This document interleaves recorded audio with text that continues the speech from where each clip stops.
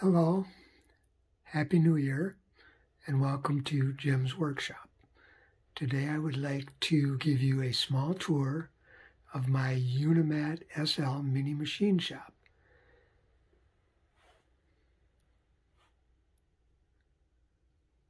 We'll start out with this one. This is a Unimat SL set up with a power feed uh, it's currently got a three-jaw self-centering chuck on it, a live center in the tailstock. Uh, it's set up with the slow speed attachment, which gives you an extra set of pulleys to use to uh, change the speed of the machine. Next one up is the standard Unimat SL with pretty much the standard equipment. This one has a four-jaw independent chuck on it.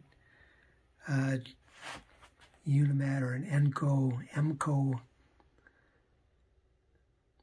drill chuck on the tailstock. Uh, it's set up at the conventional drive.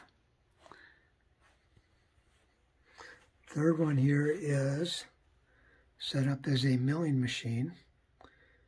Uh, so this one has the milling table, a little milling vise on it. Uh, tailstock's not really being used, but it's got a Unimat dead center in the tailstock. Uh, this one's set up just with conventional drive system some of my Unimat accessories shown here. First of all, for cutting tools, I have a Edelstaal cutting tool system, which uses inserts for the cutting tools and boring bar.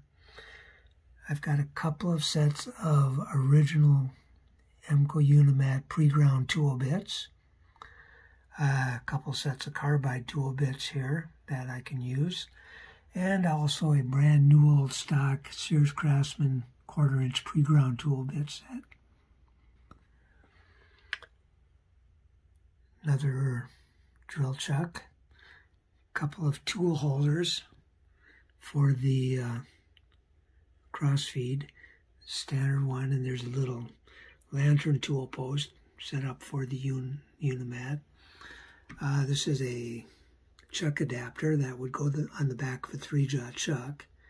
Um, it's off right now because I've got my other three-jaw chuck mounted to another accessory that we'll see in a little bit.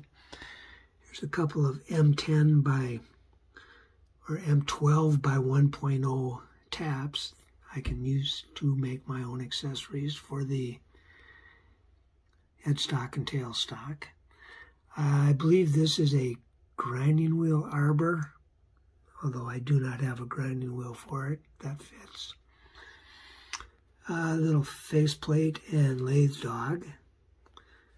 Another dead center here. A woodworking tool rest for using the Unimat as a wood lathe. There's a little steady rest that would go on any one of these machines. Uh, another milling table with looks like four clamps that I can use to clamp work down to the milling table. Uh, here's a little, not sure what they call it, a uh, faceplate that will accept the T-slots and clamps as part of the Unimat system. This is a indexing attachment with a three-jaw chuck mounted. I've got the jaws on this three jaw chuck set up to be outside jaws rather than inside jaws. Uh, the only the only indexing head I've got for this is a 48 division indexing head. Uh, I would like to get the other indexing heads if anybody has any spares. Send me a message and we'll work something out.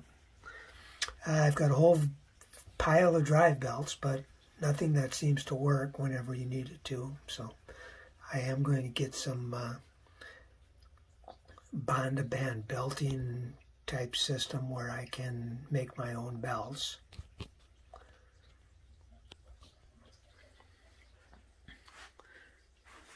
I also have uh, a couple of precision mini drill presses.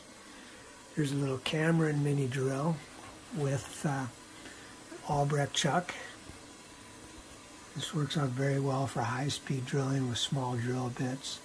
I've got it mounted to a very heavy cast iron Federal indicator base so it doesn't vibrate, it doesn't walk around the table when I'm trying to drill with it. Uh, next I have a Vigor optical or optical drill press. I believe it was made for um, opticians and jewelers. Uh, this is another small high-speed drill press, similar to like a Proxxon, but uh, I think much better built. Uh, this is made in Japan. It's all cast iron, very heavy. Um, actually, I was surprised that the actual list price on this thing is like close to two thousand dollars, nineteen hundred bucks, I believe, when I saw it online. I of course didn't pay anything near that for it, but uh, it is a very nice little drill press. So I'm just going to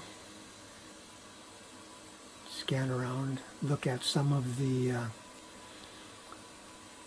accessories and parts again so you can freeze it and look at things in detail if you wish.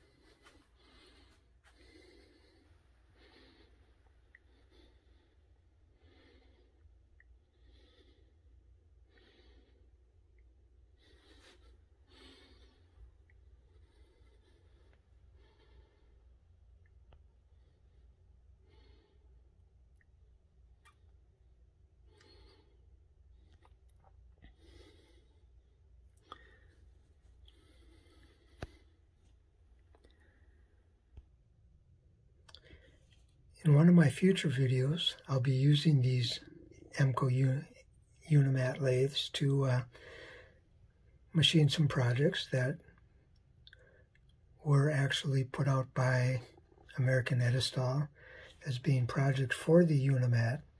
Uh, one I've got is the Hudson River paddle steam engine that I will be making on the Unimat lathe and mill.